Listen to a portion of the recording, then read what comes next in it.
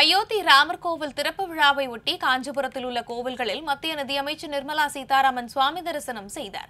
அயோத்தி ராமர் கோவில் திறப்பு விழாவையொட்டி காஞ்சிபுரம் காமாட்சி அம்மன் கோவிலில் எல்இடி திரை அமைத்து விழாவை நேரலி செய்ய திட்டமிடப்பட்டுள்ளது. இந்நிலையில் இந்த விழாவையொட்டி காஞ்சிபுரத்திற்கு வருகை தந்த மத்திய நிதியமைச்சர் நிர்மலா சீதாராமன் வரதராஜ பெருமாள் கோவிலுக்கு சென்று சுவாமி தரிசனம் மேற்கொண்டார். தரிசனம் செய்துவிட்டு வெளியே வந்த அவரிடம் வரதராஜ பெருமாள் கோவிலில் உள்ள ராமர் சந்நிதி பூட்டியே கிடப்பதாக பக்தர்கள் புகார் அளித்தனர். இதனைத் தொடர்ந்து அயோத்தி ராமர் கோவில் கும்பாபிஷேகத்தையொட்டி ராமர் சன்னதியை திறந்து பூஜைகளை செய்ய அறிவுறுத்தினர்.